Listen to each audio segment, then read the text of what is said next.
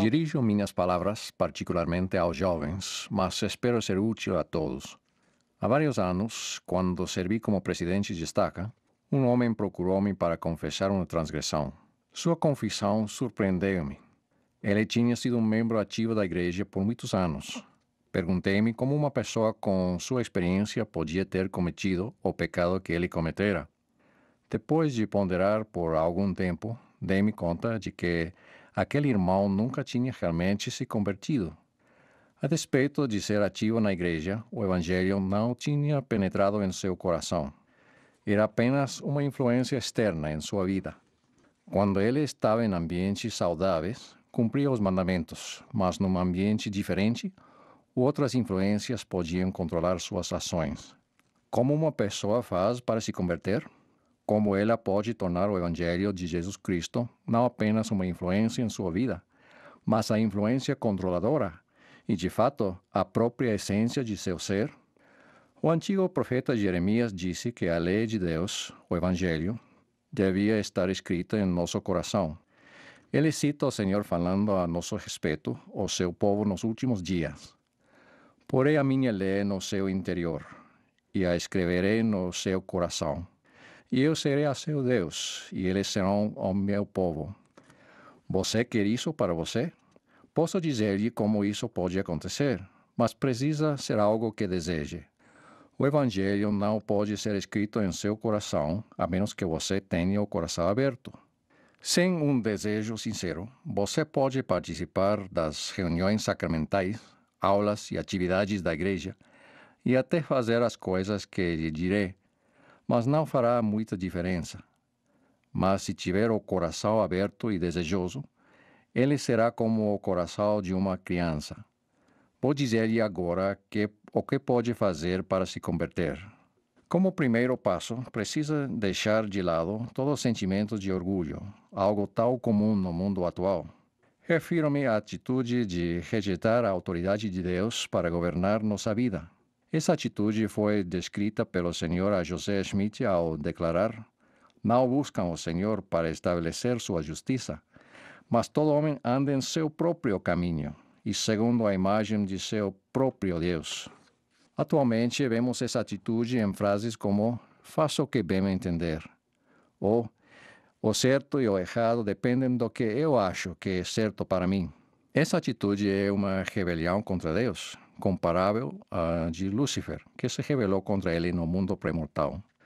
Lúcifer rejeitou o direito que Deus tem de declarar a verdade e estabelecer a lei.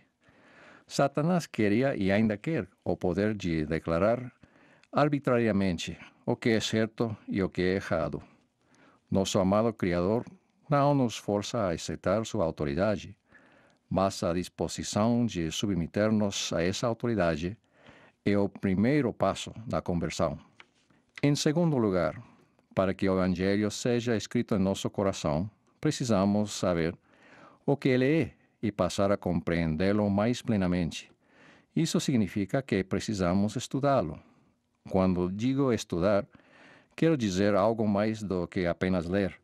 É bom, às vezes, ler um livro de escrituras num período determinado de tempo para termos uma visão geral de sua mensagem.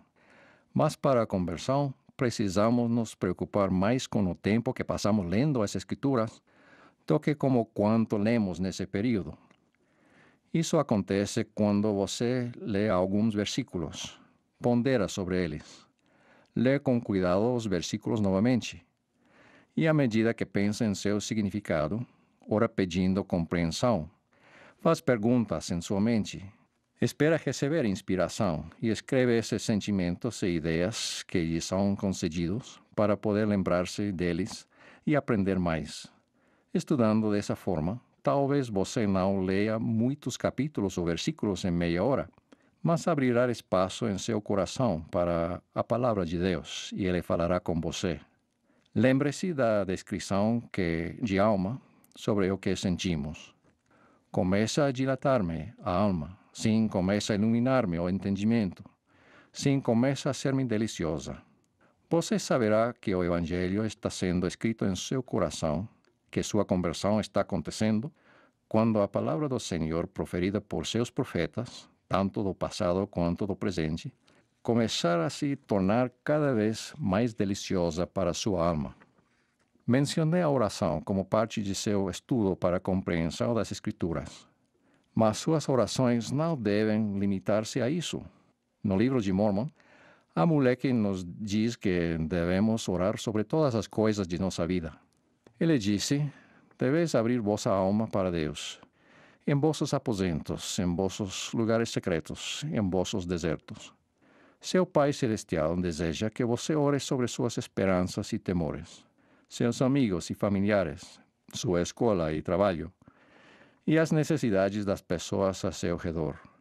Acima de tudo, você deve orar para estar cheio de amor de Cristo. Esse amor é concedido àqueles que são verdadeiros seguidores de Jesus Cristo e que o pedem com toda a energia de seu coração. Esse amor é o fruto da árvore da vida. Prová-lo é uma parte importante de sua conversão, porque depois de sentir o amor que o Salvador tem por você, mesmo que seja uma porção bem pequena desse amor, você se sentirá seguro e crescerá dentro de você um grande amor pelo Senhor e pelo Pai Celestial.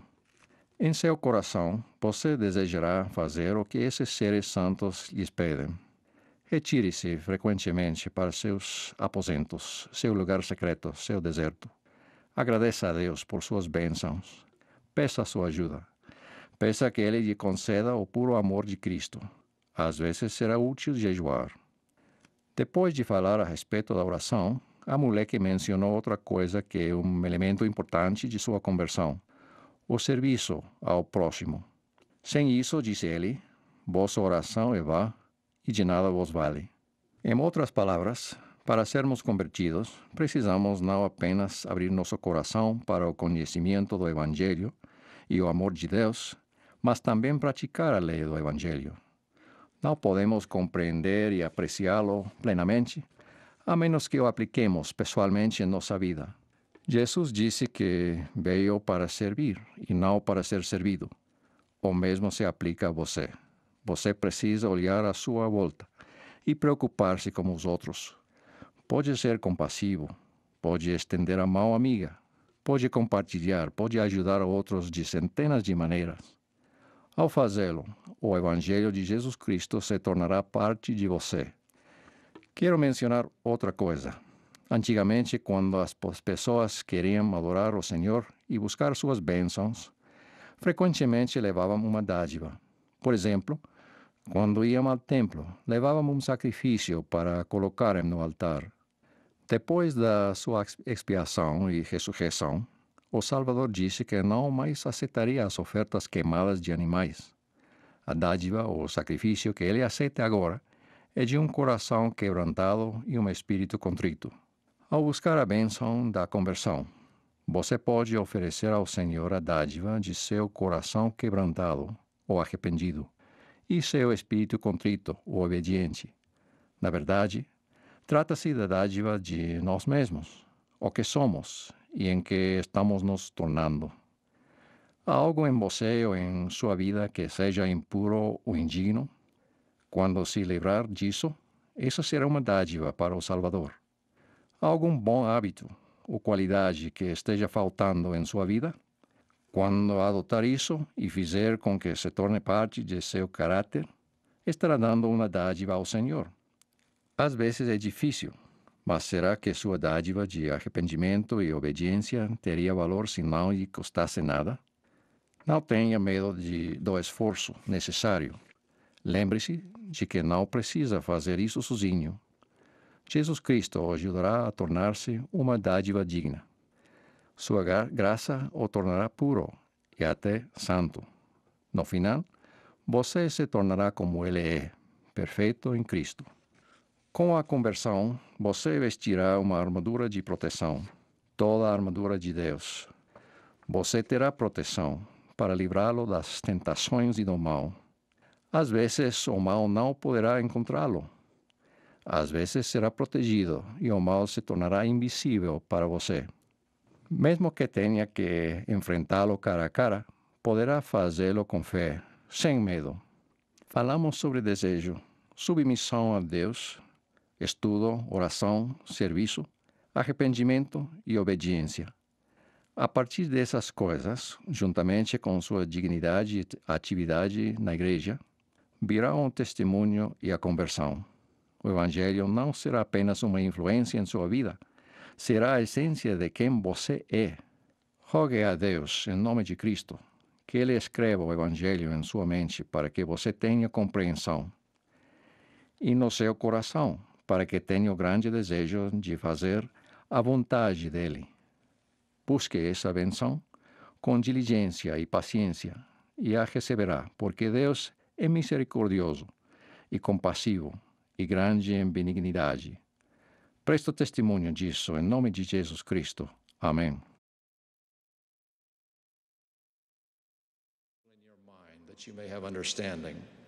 and in your heart that you may love to do his will. Pursue this blessing diligently and patiently, and you will receive it. For God is gracious and merciful and of great kindness. I so bear witness in the name of Jesus Christ. Amen.